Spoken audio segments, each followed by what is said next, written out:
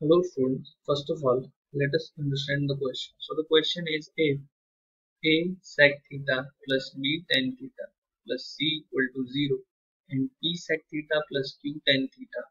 plus r equal to 0, then prove that br minus qc square minus pc minus ar square equal to aq minus pb square. Okay, so let's start. तो हमें question में given है a sec theta plus b tan theta plus c equal to 0 and p sec theta plus q tan theta plus r equal to 0 and we have to prove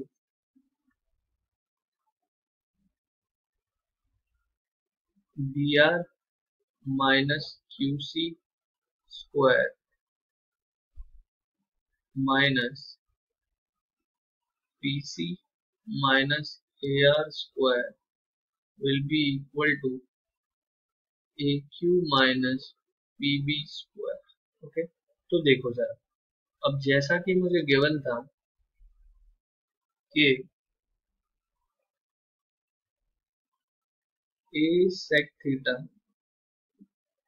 plus b tan theta plus c जो है वो zero के equal है, और p sec theta plus q tan theta plus r जो है वो भी ज़ीरो के इक्वल है। तो अगर मैं इसको इक्वेशन वन बोल दूँ और इसको टू बोल दूँ, और इन दोनों से मैं सेक और टेन की वैल्यू फाइंड करूँ इनको लीनियर इक्वेशन टू वेरिएबल्स में मानते हुए तो इक्वेशन वन में सेक का कोफिशिएंट ए है और टू में सेक का कोफिशिएंट पी है तो अगर इक्वेशन वन को पी से मल्टीप्लाई करूँ तो ये ए पी बन जाएगा और इसको ए से करूँ तो ये भी ए पी बन जाएगा। So multiply equation one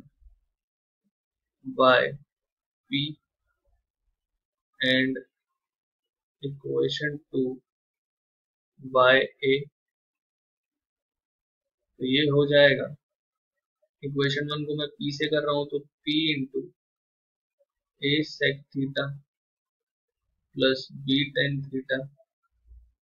equal plus c equal to zero into p तो ये हो जाएगा a p sec theta plus b p tan theta plus c p sorry equal to zero और इसी तरह मैं सेकेंड इक्वेशन से, को ए से कर रहा था तो a into p sec theta plus q tan theta plus r equal to zero into a तो ये हो जाता a p sec theta plus a q tan theta plus a r equal to zero अब अगर मैं इन दोनों को subtract कर देता तो मुझे क्या मिलता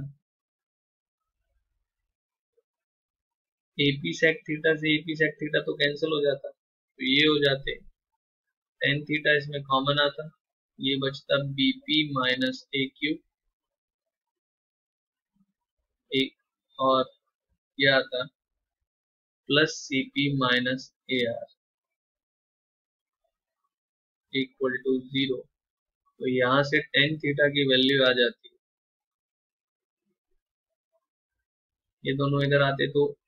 a r minus c p upon b p minus a q but जैसा कि मैं देख रहा हूँ, मुझे प्रूव करते time p c minus a r चाहिए।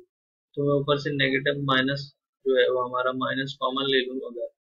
तो ये आ जाएगा c p minus a r और नीचे से भी माइनस कॉमन ले लूँ। तो ये आ जाएगा a q minus b p तो माइनस से माइनस कट जाता और टेन थीटा की वैल्यू क्या रहती? C p minus a r upon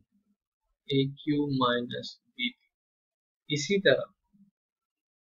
अगर जैसे कि मैंने सेक के कोफिशिएंट इक्वल किए थे और टेन की वैल्यू निकाली थी, इसी तरह अगर मैं टेन के कोफिशिएंट्स इक्वल कर दूँ, जैसे कि यहाँ पर बी है और यहाँ क्यू है तो ये क्यू से मल्टीप्लाई कर दूँ अगर इक्वेशन वन को तो ये बी क्यू बन जाएगा और बी बी से कर दूँ टू को तो ये भी बी क्यू बन जाएगा। So multiply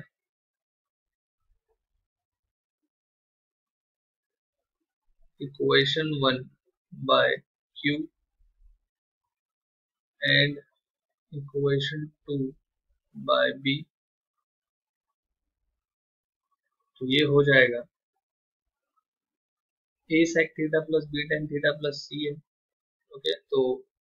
q से मल्टीप्लाई कर रहे हैं तो a sec theta plus B tan theta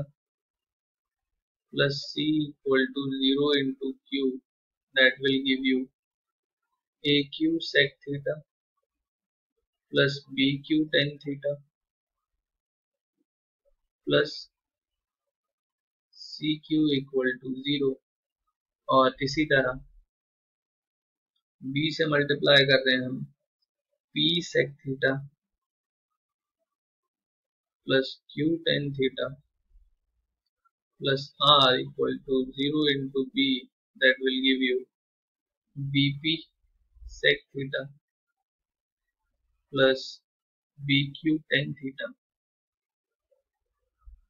plus br will be equal to zero. अगर मैं इन दोनों को सब्ट्रैक्ट कर दूँ तो ये माइनस ये भी माइनस और ये भी माइनस तो बी क्यू टेन थीटा से b q tan theta cancel